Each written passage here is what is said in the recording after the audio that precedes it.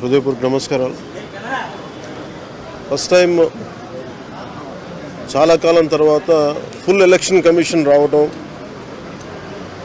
దాని తాలూకు సీరియస్నెస్ తెలియజేస్తూ ఉంది.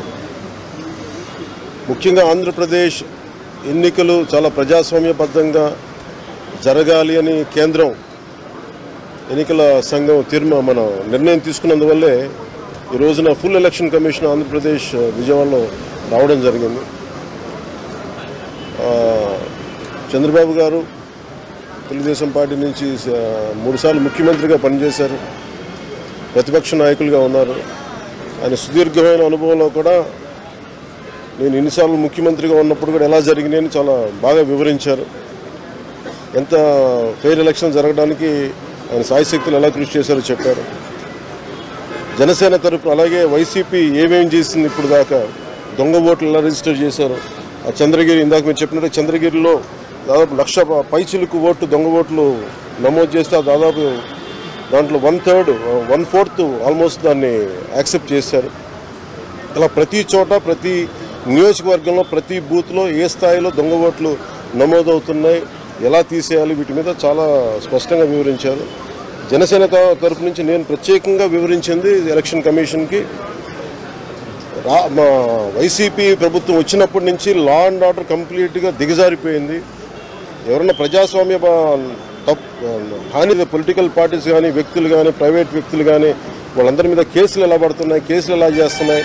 ముఖ్యంగా బైండ్ ఓవర్ కేసులు ప్ర- ప్రత్యేకించి పొలిటికల్ పార్టీ టీడీపీ వారి మీద కానీ జనసేన కార్యకర్తల మీద కానీ ఇవన్నీ చాలా క్లియర్గా తె- తెలియజెప్పడం జరిగింది వారికి. అలాగే పోలీసు అధికారులని ఇప్పుడు సడన్గా మారుస్తూ ఉన్నారు. లాస్ట్ రెండు నెలలుగా మార్చేస్తూ ఉన్నారు. మళ్ళీ ఎన్నికలు సంఘం వచ్చేటప్పటికి మళ్ళీ వాళ్ళకి కావాల్సిన అధికారులు తిరిగి అక్కడ వేయించుకునేలాగా చ- తీసుకొచ్చిన ప్రణాళికలు చేస్తాం. అది కూడా బలంగా తెలియజేస్తాం అలాగే మహిళా కానిస్టేబుల్స్ ప్రత్యేకించి సంబంధం లేని చోట్ల వాళ్ళు దాదాపు ఎనభై ఏడు నియోజకవర్గాల్లో వాళ్ళు పెట్టారు. అది వాళ్ళు దూరం చేయమని ప్రత్యేకంగా ఆయన వివరించారు.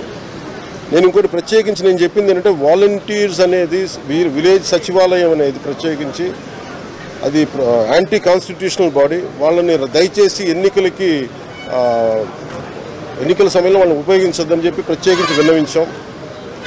అలాగే మేము కోరుకుంది ఏంటంటే మీరు కనుక సంపూర్ణంగా దీని వైపు చూడకపోతే దీని పారదర్శకత కన దీని ఎలక్షన్ చేయకపోతే ఇక్కడ ప్రజాస్వామ్యం కూని అయిపోద్ది ఇక్కడ హింస ఎక్కువైపోద్ది. అలాగే గత స్థానిక ఎన్నికల్లో కూడా ఏ స్థాయిలో కనీసం ఒక దళిత యువకుడు లాంటి ఒక కనీసం నామినేషన్ వేసే పరిస్థితుల్లో కూడా లేదు. అందరినీ చేశారని చెప్పి ప్రత్యేకించి అది వివరించాం. ఖచ్చితంగా వాళ్ళు ఒకటే మ, ఎన్నికల ప్రధానాధికారి ఒకటే చెప్పారు ఆయన సీఈఓ. మేము చాలా కట్టుబడి ఉన్నాం. ఫ్రీ అండ్ ఫెయిర్ ఎలక్షన్ జరిగేలా కట్టుబడి ఉన్నాం అని చెప్పి అంత భరోసాగా ఇప్పుడు మాట్లాడటం ఖచ్చితంగా ఇది కేంద్రం చాలా సీరియస్గా తీసుకున్న ఆంధ్రప్రదేశ్ ఎలక్షన్స్లోనే తెలియజేస్తూ ఉంది. ఈసారి ఫ్రీ అండ్ ఫెయిర్ ఎలక్షన్స్ ఉంటాయి. ప్రభుత్వాలు మారుతాయి అనే నేను కం- మనస్ఫూర్తిగా నమ్ముతున్నాను. అలాగే ఈ పరిస్థితుల్లో కేంద్ర ఎన్నికల సంఘం ప్రధానాధికారులందరికీ కూడా ప్రత్యేక ధన్యవాదాలు తెలియజేసుకుంటున్నాను.